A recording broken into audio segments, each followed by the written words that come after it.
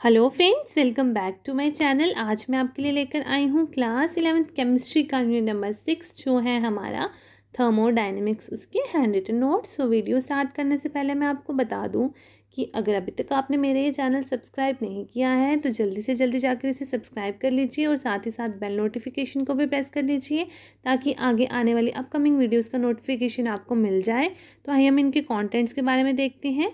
सबसे पहले थर्मोडाइनमिक्स क्या होता है वो आपको बताया गया है। देन उसके some basic concepts then types of system open system close system isolated system उसके बारे में बताया गया है। मैक्रोस्कोपिक सिस्टम ठीक है? ये सारे टाइप्स आपको दिए गए हैं। तो अगर आप इस चैप्टर की हार्ड कॉपी चाहते हैं तो उसका लिंक आपको हमारे डिस्क्रिप्शन बॉक्स में मिल जाएगा। आप वहाँ से जाकर इसकी हार्ड कॉपी को इजीली ऑर्डर कर सकते हैं। ये hard copy within five to seven days के अंदर आपके, हमारे द्वारा आपके घर तक डिलीवर करवा दी जाएगी। ठीक है? Different types of enthalpies of reactions वो बताया गया है। Enthalpy of formation enthalpy of bond dissociation enthalpy of ionisation ठीक है? इंथैलेपी ऑफ़ सॉल्यूशन ये सारी इंथैलेपीज आपको यहाँ पे बताई गई हैं। ठीक है?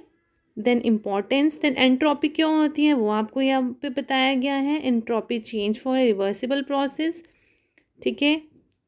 वो आपको यहाँ पे मिल जाएगा सारा।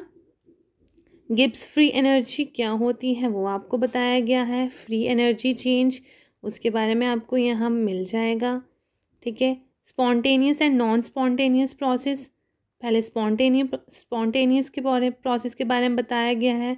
ठीक है देन नॉन स्पॉन्टेनियस प्रोसेस के बारे में बताया गया है।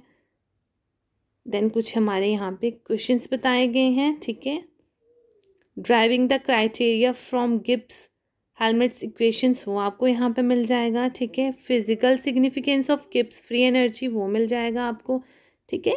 तो ओवरऑल हमारा सारा कुछ आपको यहाँ पे मिल जाएगा। थर्ड्स लॉ ऑफ़ थर्मोडाइनमिक्स वो यहाँ पे मिल जाएगा। तो गाइज़ अगर आपको वीडियो अच्छी लगी हो तो please like share and comment ज़रूर कीजिए और साथ ही साथ मेरे इस चैनल को सब्सक्राइब कीजिए। Thank you